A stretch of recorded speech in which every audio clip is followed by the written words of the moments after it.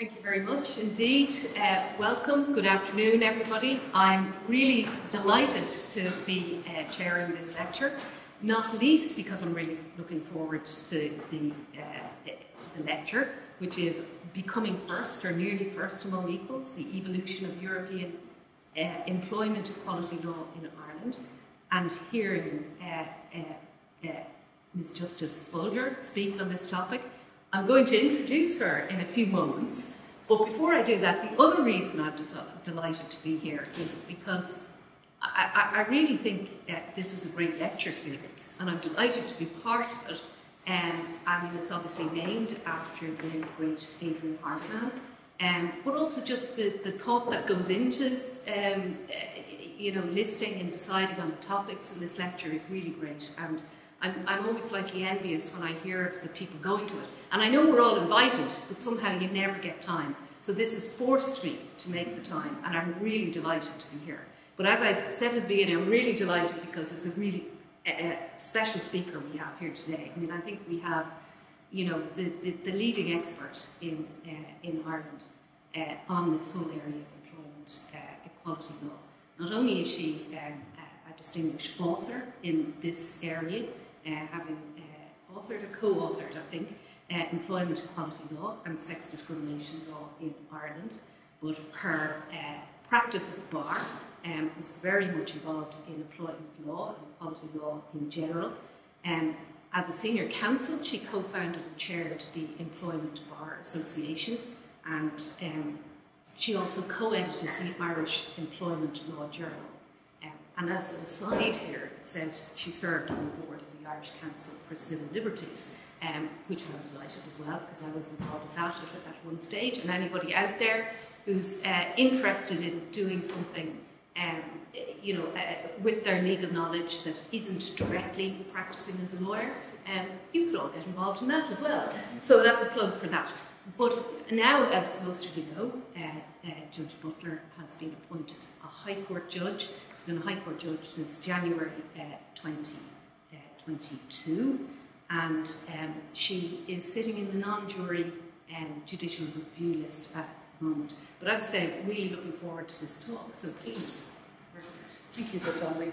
Um, and just to echo Judge Donnelly's words, I'm delighted to be here and to be part of this programme. I, I, sometimes think uh, people like you will think, uh, more senior people like us, a little bit gushing when we talk about what a terrific programme it is and how uh, but I really can say I wish it had been around in my day. Um, I'm not sure if I would have got onto it because, as far as I can see, it's very much the brightest and the best who get onto it. But it's a terrific opportunity. I've had the pleasure of having one of you join me this week, and I've seen just with him how uh, really you're really taking it on board and using every opportunity that comes your way. So I couldn't advise you strongly enough. You know, keep taking that sort of approach as you move towards developing your careers in law. Take up every learning opportunity every opportunity to expand your knowledge, expand your understanding, and perhaps benefit from the, those who have gone ahead of you, who maybe, just maybe, have a little bit of knowledge and experience that you can learn from, and in turn pass on to the next group who come behind you.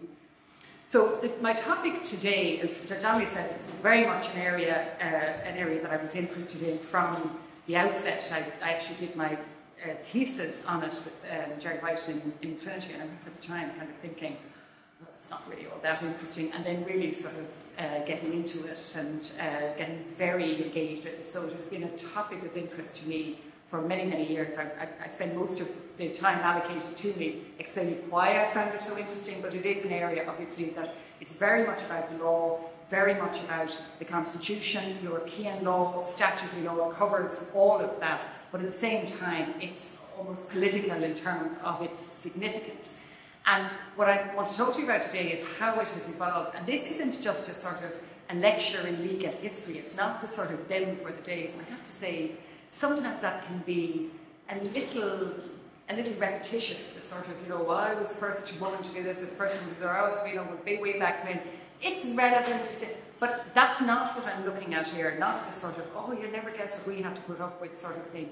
It's more about how this area of the law has evolved But the reason it's important for you to understand that is because you need to understand its evolution in order to understand how it works and fits in today. And it's not just equality law, it's also in terms of how employment law has evolved, but actually I would say this is more about a reflection of how European law has heavily impacted not just Irish law, but Irish society. We tend to think of Ireland having been dragged kicking and screaming to equality, and I'll go into that in a little more detail.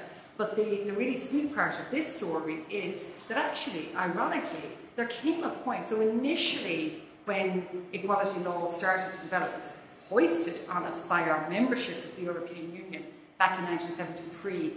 As soon as we joined the Union, more started happening in terms of developing Irish employment equality law or even equality law than had happened pursuant to the Constitution over many decades previously. So our membership of the European Union was this catalyst that forced us to change. Remember, the year we joined the European Union was the year that finally a woman did not have to give up her job in Ireland simply because she was to get married and think she could also maintain a career. So, you know, that's pretty shocking when you think about that.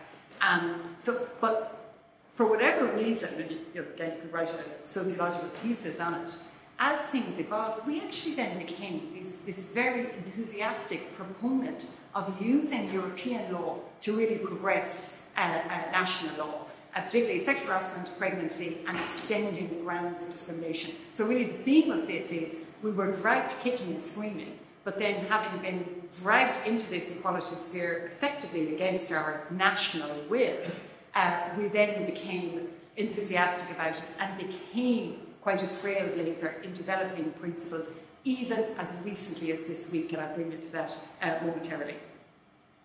Uh, so, what I want to do is look firstly at equality, and what we mean by equality, look at how equality has been treated in the Constitution. Now, in terms of jurisprudence, certainly in terms of employment equality, as soon as we joined the European Union, the, the Irish lawyers stopped for good reason even trying to use Article 41 to progress uh, employment equality or anything that European law touched on because it had been pretty hopeless up to then.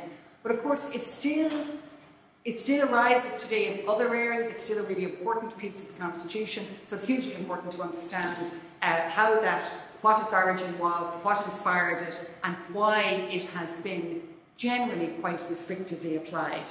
And I want to look then at the development of equality as a fundamental principle in European law. Again, a little bit of the history lesson, but again to understand how it evolved within the treaty and ultimately came to be recognised as a, a, a, kind of cornerstone fundamental right within in a union that was initially completely about economics rather than about social progress. So looking firstly at what does equality mean? Um, and of course, it's something that is, is spectacularly simple, but remarkably complex. And any of you in this room who have siblings will know that every child who has ever complained about their sibling being treated better than they were instinctively understands what equality means. But it's also something that is quite difficult to conceptualize in at a legal and political level. So you have the Aristotle principle that equality requires those that are alike should be treated alike, those that are different should be treated differently. And that's what we call formal equality. And historically, way, way back historically, formal equality would have been used quite effectively by women to challenge uh, suffrage, uh, uh, education, and to some extent employment. But increasingly, it was recognized that it is completely limited. It depends on uh, uh, how we determine what is alike, what is different, what forms of difference are legitimate and which are not, and very limited in dealing with people who have different needs and uh, uh different abilities. So, generally, if you think about it like a race, formal equality will deal with equality of outcome. So, you start at the race and you're all at the same stage, you need a more substantive form of equality to, to deal with equality. Sorry, formal equality will deal with equality of opportunity. So you give everyone the same opportunity to participate in the race, but you need a more substantive form of equality in order to have any prospect of equality of outcome. So substantive equality will look beyond uh, equality being premised around the norm of a person who is born and identified male, uh, white, able-bodied, heterosexual with a Judeo-Christian background. That's your pretty much norm for formal equality. And as we all know, that doesn't even begin to represent so, so many people, not least being 51% of the population that uh, are female. And again, work for that person is, is structured around the assumption that they've had access to a good education. That whole sort of economic equality piece that is still very, it's out there very much early days. Uh, they're not subject to conscious or unconscious bias. Uh, they have their children and domestic responsibilities looked after by other people. So that's never going to achieve real equality. And substantive equality is about recognising that sometimes special treatment is required in order to achieve fairness, in order to, to give someone even the chance of equality of outcome. Classic example of that would be paternity leave.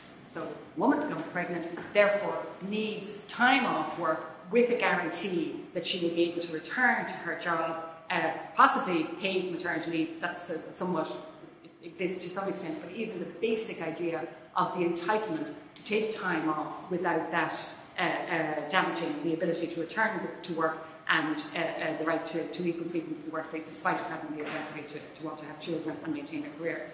Um, other circumstances, historical disadvantage, racism, structural discrimination, embedded prejudice, uh, differing physical or intellectual abilities, whether through disability or age, are all things that may require special treatment in order to ensure equality of outcome.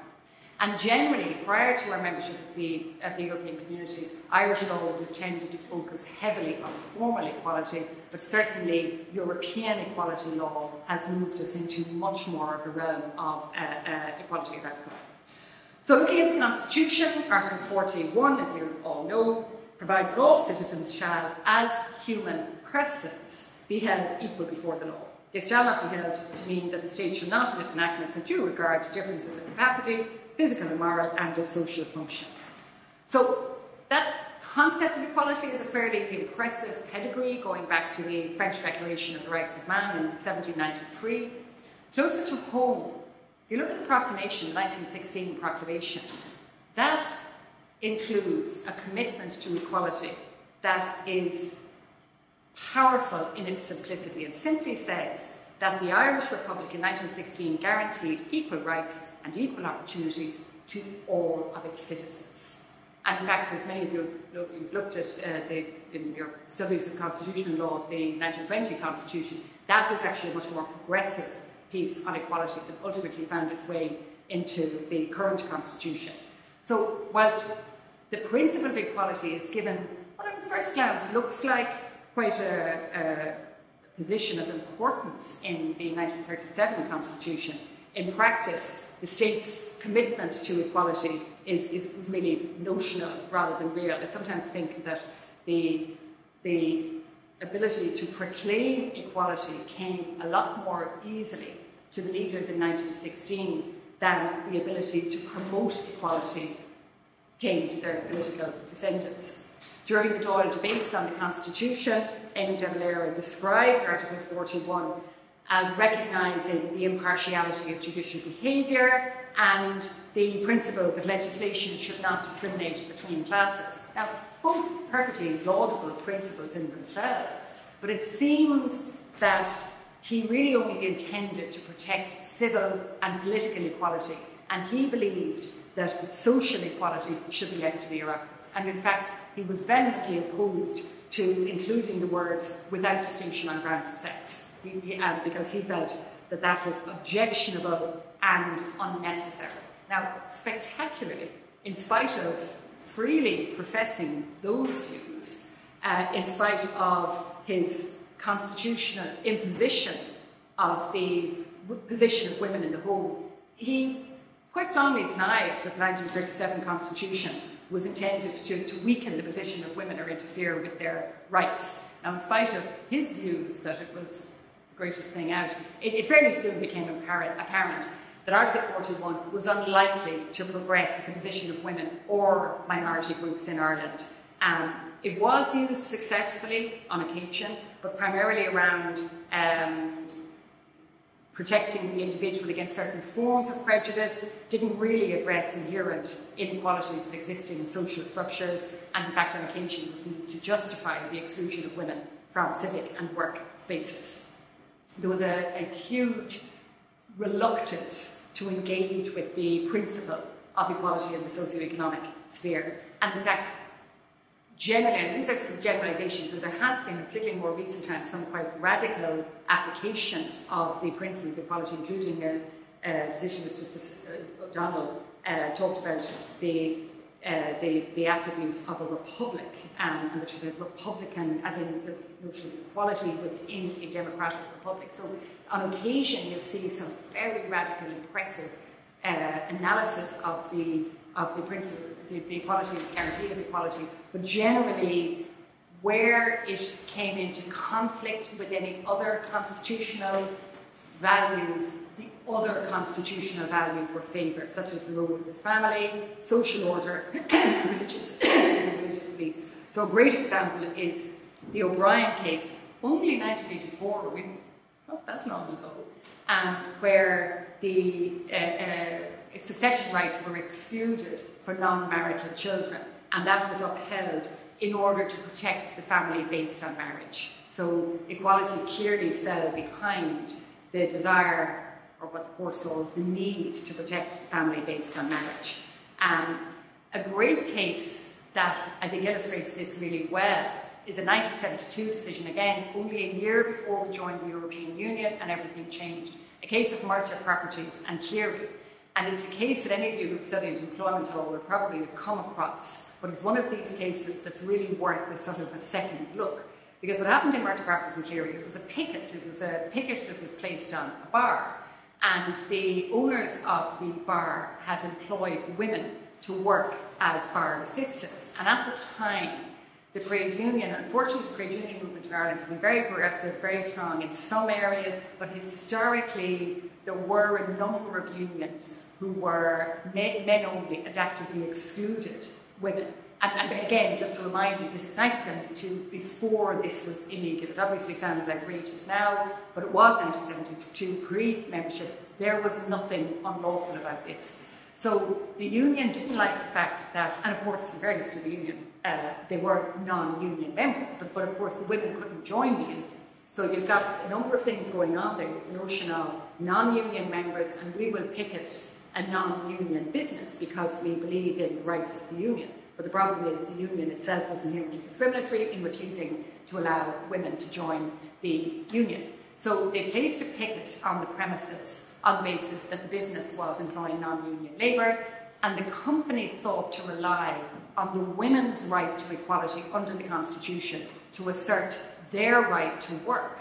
Now, on one level, if you were to ask, say, the, the trade union lawyer might say, oh, well, Murtagh Properties was the one where they got the injunction, the picket was restricted because the court found that the women's right to earn a livelihood was being breached. But that's the point.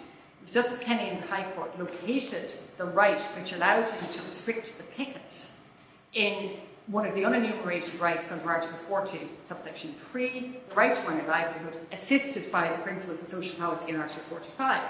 Um, so it was a case of when we got the right result, we closed down the picket.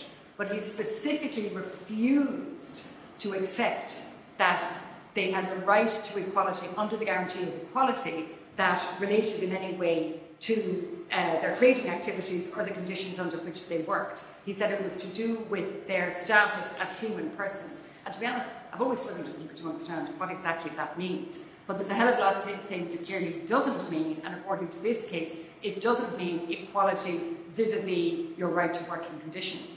But the best part of this case, bit that's like you'd have to laugh because, you know, uh, otherwise it really is utterly tragic.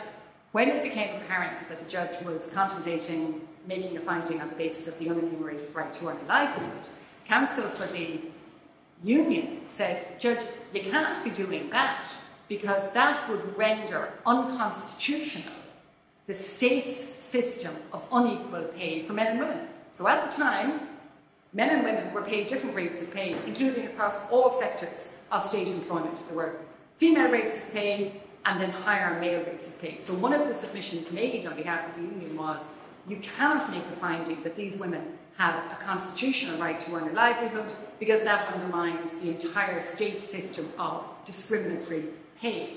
To which the, the judge, quite clearly in one way, in terms of getting to the end point, he said the right to earn a livelihood doesn't mean they have the right to earn a certain level of livelihood because that's a matter for the Oireachtas. I'm simply deciding they have a right to earn a livelihood. And he also said that if the pickets had been because the work was considered to be dangerous for the women, that he might have actually um, not restricted the uh, pickets. So what you ended up with, albeit that the, the women's right to work was recognised, but at the same time, he, what you ended up with was a rejection of the Constitution recognising any right to equal pay or equal working conditions for women, and even their limited right to earn a livelihood could be lawfully restricted where the work was considered to be unsuitable for them. And emphasising for the fourth time, that's only a year before we uh, joined the European Union. So looking then to European equality law, before we look at the tada that happened in Ireland when we did join and how that impacted so heavily and changed society so radically, just looking at how equality developed uh, at a European level, um, whilst European law has undoubtedly had an immeasurable impact on Irish employment equality rights and unemployment equality rights across the entirety of the Union.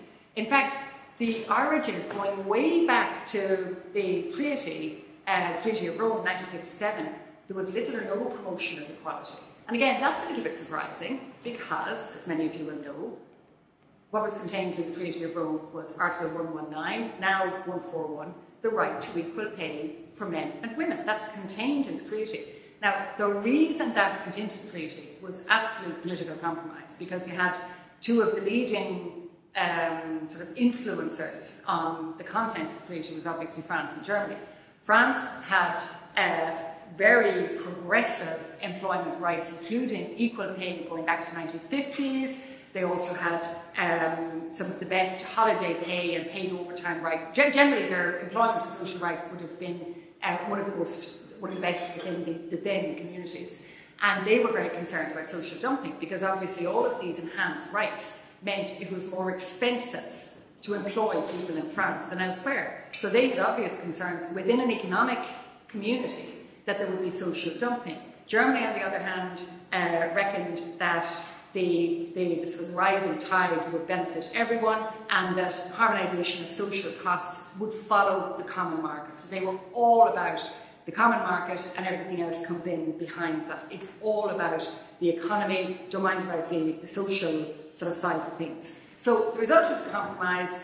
The preamble to the treaty talks about improving the quality of life for all peoples of the communities, and then Article 119 says all members of the communities are entitled to equal pay uh, for men and women, which looks fantastic. And it sat there from 1957 until 1976, doing absolutely nothing other than allowing the communities to present this supposed social soft piece that was utterly irrelevant in practice. And it's described by one of the commentators as a silent promise. But then, and this is this is another sort of, you know, I think this is a great one about how you know you all as lawyers really can change the world. Because that all obviously came about as a result of these massive political negotiations and you know, roomfuls of civil servants and compromise on compromise and compromise. And eventually in 1976, a Belgian air hostess brought a very simple case of equal pay. Now, obviously, she was very brave and very courageous, but in reality, these, the, the individual that present as the case, they're simply the test case. The lawyers have been hunting around for a long time for the right test case, and it is the lawyers who bring these cases forward, fight them, and hear one uh, most simple case you can imagine of equal pay on the basis that Article 119 had direct effects. And of course, as you know from your study of European law, that means that every single citizen of the European communities could rely directly on Article 119. So overnight,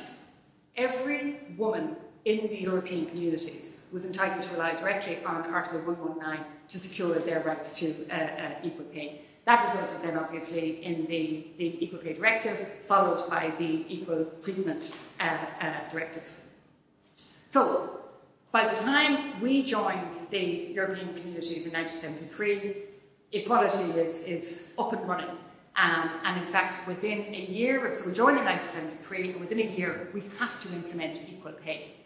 Now, now, if you look at, say, a year ago when the Gender Pay Gap Reporting Act was implemented, it's quite a technical point to do with gender pay gap reporting, but it is significant and there's quite a fanfare about, you know, aren't we great? And it is great, it's really important, but it's almost, you know, we celebrate now anything that improves equality, obviously with due regard to the challenges that that can present for employers. Um, but it is generally celebrated as a good thing.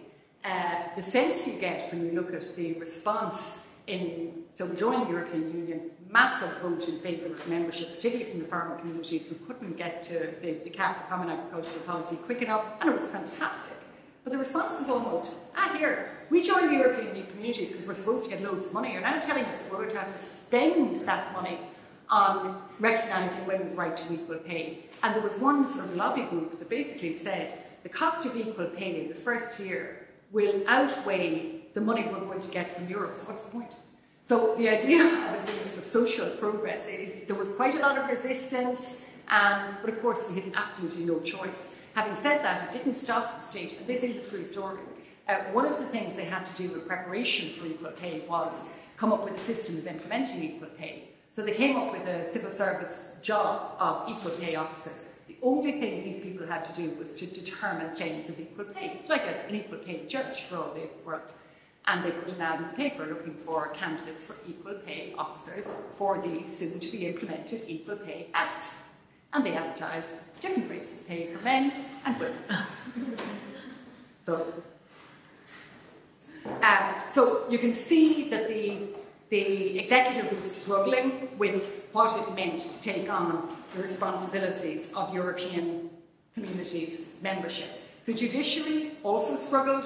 Um, initially, there was little or no tradition of referring cases to Luxembourg. I mean, I assume, if I actually had a chance to ever sort of ask anyone who was around at that time, but I assume there was a flurry of, of training, but even then the idea of judicial training would have been quite radical.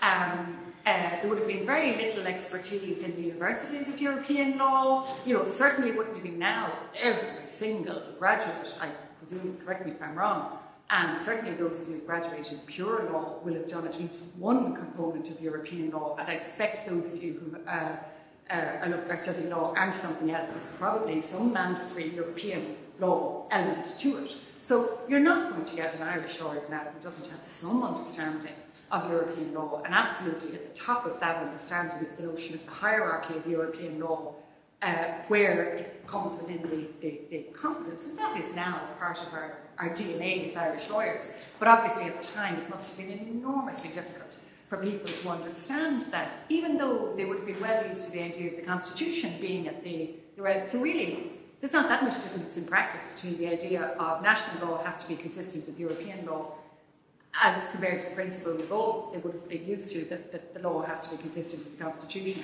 But the judiciary uh, definitely, I think, struggled. Very few references. In fact, in our first 30 years of membership, between 1973 and 2003, the Irish court preferred the smallest number of references per head of population uh, across the entire of the communities. Um, and I remember one of my first time I went to the Court of Justice, which was uh, 2000, uh, 2000 and something, and it was something like the, the, it was less than 50. Even at that stage, we were the not quite 50th case to, to go out. So they were tiny numbers. I mean, obviously a lot more now, partly because I think very possibly that's been partly fed into by uh, asylum law, the development of asylum law, and an awful lot of references coming from that area. But you'll even see in employment law just a greater willingness to look at the idea of securing a reference and gradually over the years recognition that that reference didn't actually have to come from the High Court, it could come even from the Labour Court, even from uh, WRC. And so that's been a, a, sort of an evolution. But not only at the time could you see the judiciary struggling with even the concept of making a reference, uh, they clearly struggled with what European equality law meant. And there's a very good case that illustrates that, case of Murphy on Bord Telecom. And it's 1986, you know, 13 years uh, after our membership, and the High Court actually referred the case to Luxembourg. Uh, it was established that the claim was an equal pay case, and this woman was looking for she was being paid less than her male counterpart. The problem that the court encountered, so much so that it had to ask Luxembourg to assist it, was it was accepted that her work was not of equal value to her male counterpart who was being paid more. It was of greater value. Everybody accepted that her work was of greater value than her male comparator. And the High Court had to refer the case to Luxembourg to say, well, does that person get equal pay? And the Court of Justice said, yeah, um, doesn't get, there's no entitlement to a higher level of pay, but there is obviously a right to equal pay. And you do get, and you know yourselves in reading the decisions of the Court of Justice, they don't really hold back. And there is a sense in that decision of, really? So I highlight that as just showing that during the 70s, in the 80s, there was definitely a struggle both from the executive and from the uh, uh, uh, judiciary in understanding what our membership of the European Union meant and what this radical, new, vast range of life-altering employment equality law uh, uh, meant for the law. But moving on then, if we move further into the 80s and into the 90s, you then start to see, it's like they sort of said, gosh, this is really cool, we're really going to go for this.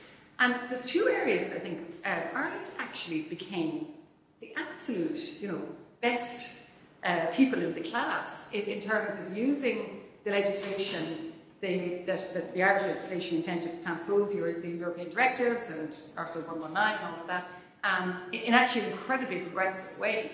And a great illustration of that is in uh, sexual harassment. Sexual harassment is an area that the law really, really struggled with.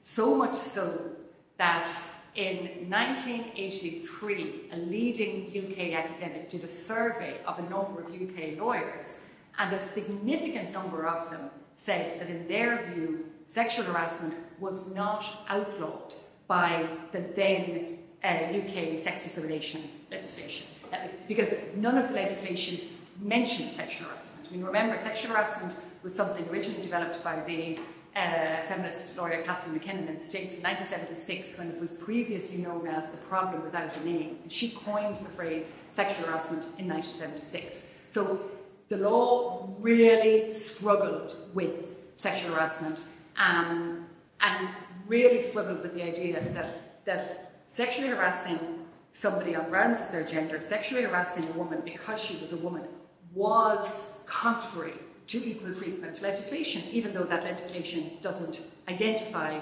what sexual harassment is. So the entire of the European community was struggling with this. The entire of the European communities had the equivalent of our Employment Equality Act, which was implementing the Equal Treatment Directive, which recognised the right to equal treatment, but didn't define or address sexual harassment in any way.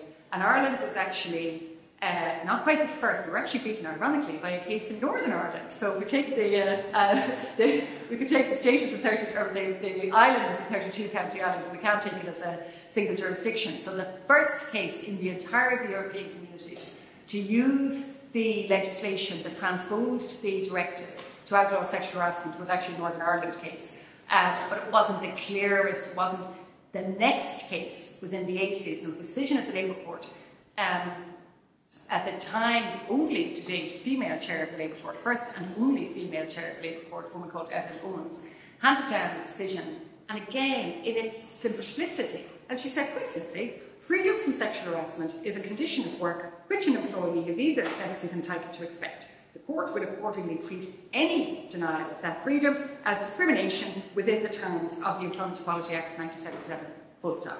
It's probably the widest breadth uh, recognition of the right to a workplace free, free from sexual harassment that has ever been espoused in Irish law. Because since it has more recently been put onto statutory footing, it has actually, a lot more restrictions have been applied. Now, realistically, that going that wide really probably isn't workable. But it's interesting that all of the legislative provisions since then have imposed some limitations. You know, it's a sort of a partly objective, partly subjective approach. Uh, this might not be sexual harassment, this might be all of that. But to think that that first time it's recognised, it is recognised in the most fulsome way. And even though that was a fairly modest, almost like a modest little case down in the Labour Court, and I can tell you at the time, uh, well, by the time I started in practice in the 90s, what went on down in the Labour Court, nobody was really terribly interested in it. It wasn't headline news. Um, so it was almost this passed under the radar, but it was phenomenal and of phenomenal importance in using the legislation that transposed the European directive to outlaw sexual harassment. And it wasn't until the recast directive in 2006 that the European Commission finally put sexual harassment on a statutory footing, actually introduced the recast directive a definition of sexual harassment and specifically outlawed sexual harassment within the equality uh, directives. And at the time when the recast directive was introduced, Ireland was still one of a very small number of member states who had developed its own legislation to outlaw sexual harassment. Um, pregnancy is another area where, again, shock horror, and it really is quite surprising, uh, we were a little more radical. The law has also enormously struggled with pregnancy discrimination. Thankfully not now, it's now much more heavily protected, very heavily protected during the period of pregnancy and statutory maternity leave. The protections wanes after that, but for that period of time, heavily protected.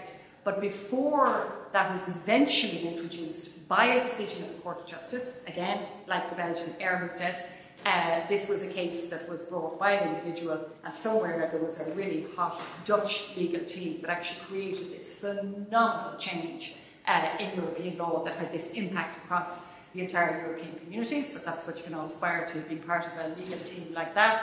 Uh, and the Dekker decision was in 19, remember now, it's 94, but again, so quite uh, far out. But finally, it was recognised, very simple decision, finally recognised that to treat a woman less favourably on grounds of her pregnancy is direct discrimination on grounds of her sex. And it is, it's almost like, yeah, um, but the law struggled phenomenally with that prior to the Dekker decision. Now remember, side segue, direct discrimination is the strongest protection possible. There's also indirect discrimination, which is pretty good, but it can be justified, so it's a weaker form of protection. So the Court of Justice pitched pregnancy uh, discrimination at the absolute top of the food chain. Prior to that, and there's a UK case, an infamous UK case, where, honest to God, with a straight face, a judge described the reason he said pregnancy discrimination is not gender discrimination. Because the thing is, there's actually three kinds of people. There are men, there are women. And then, he said, as the good book puts it, there are women with child. So to treat a woman with child less favourably is not because she's a woman, it's because she's a woman with child, so it's not discrimination on grounds of sex. So that was the prevalent attitude in the UK. They did eventually work up to this idea of the sick male analogy. So if a pregnant woman was dismissed, which was not unusual, uh, if she could prove that a man with an illness who had to take a period of time off work of a similar period that she'd have to take for her maternity leave was also dismissed, then she would win her case. So it became known as the sick male analogy, utterly artificial, extremely difficult even to identify male-only conditions, and extremely difficult to locate an employer who would actually pay a man for that period of time. That's as far as the law went in the UK. But actually in Ireland, we didn't get to the point of Dekker recognising direct discrimination, but we did recognise that a requirement not to be pregnant, because if you think about it, if you've been dismissed because you're pregnant, then the requirement to hold on to your job is not to be pregnant. The Irish court recognised that a requirement not to be pregnant was indirect discrimination because it impacted more heavily on women. There are less women who could comply with that condition than men. So the Irish courts had actually recognised pregnancy discrimination as indirect discrimination. Not as good as Dekker, that the Court of Justice eventually recognised and really shook up the whole area of pregnancy discrimination, but pretty good in the context in which the law was elsewhere at the time.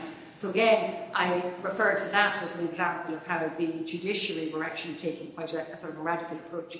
And the other really radical approach that happened in Ireland in terms of employment equality was to extend the protection beyond the, the, European law had always been about discrimination on grounds of gender and marriage, and that was it. And so eventually, as a result of the Treaty of Amsterdam, uh, the, the, what are known as the new grounds or the new directives began to be introduced in uh, the uh, 2000s. Uh, um, but well before that, so in 1998, the Rainbow Coalition government introduced what was very radical legislation, very, very simple legislation. It simply took the protection that had previously been applied to gender and marital status and said we're going to extend that to seven new grounds. I always fought a little bit on not being able to remember all of them. But there was race, uh, it still is, was, is race, disability, sexual orientation, religion, membership of the traveller community, age, I always miss one, so very the equality lawyers who, and some family status. Um, so that was really quite radical at the time. The new grounds were being discussed at a European level, but were still utterly in their infancy.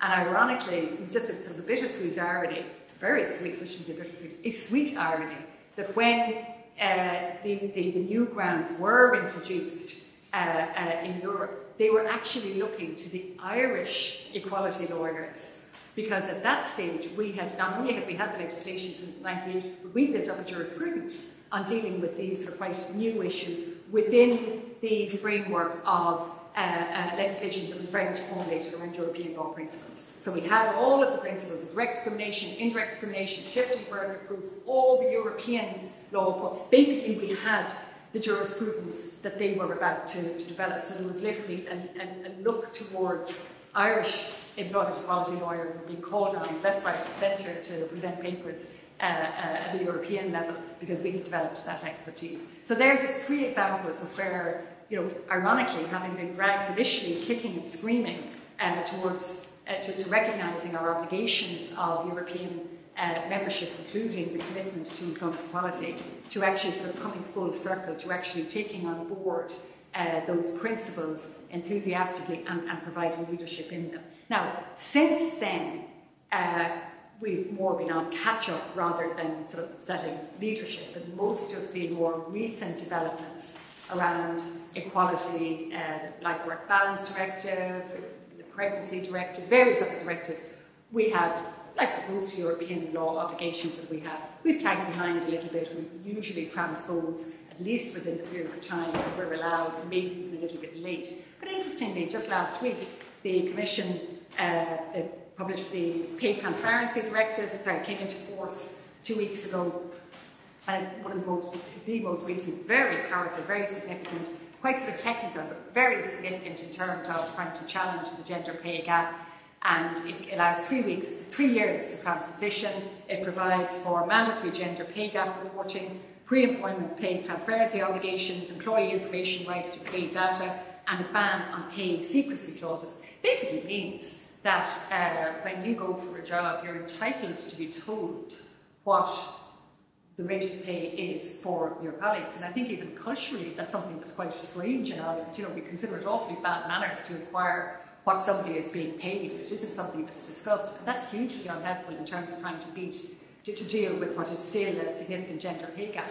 But interestingly, the gender pay gap reporting piece, which is a really important part of that directive, we've had that in Irish law since, 19, since 2021, way before it was required of us. And I'm sure many of you have even just seen in the newspaper the, the gender pay gap. Um, and you see it now on company websites. It's one of the, the pieces, you know, uh, where you'll actually see click here for the gender pay gap information. Um, and it has been uh, a source of some celebration for some organisations to say, look at our fantastic narrow gender pay gap, highly embarrassing for some other organisations. So it's, it's quite effective, very important, and a good example of, you know, Ireland still being just a little bit ahead of the curve, not as often, but, but very much there.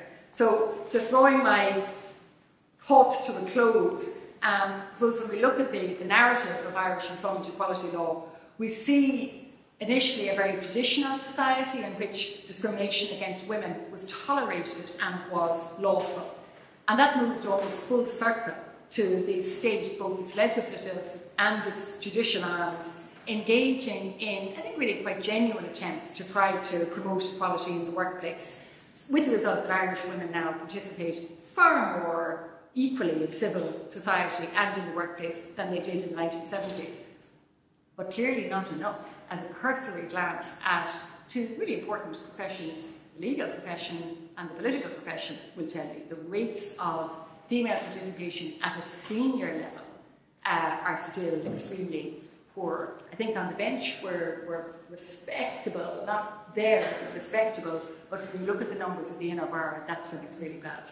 And unfortunately, uh, every time we have new appointments, are fantastic, and we've got excellent new appointments last week, and it is now you know, five appointments. We're always going to have a number of women. The day of only men being appointed to the bench is well gone. The women who are appointed actually leaves quite a significant dent in the numbers of the bar because those numbers are, are very poor. Only hit 20% for the first time, I think, about, about a year ago. And uh, at a political level, membership of the Dáil, the Senate, and the government is, is really very, very poor. So a lot done, with a lot more to do. Gender pay gap is still a stark reality.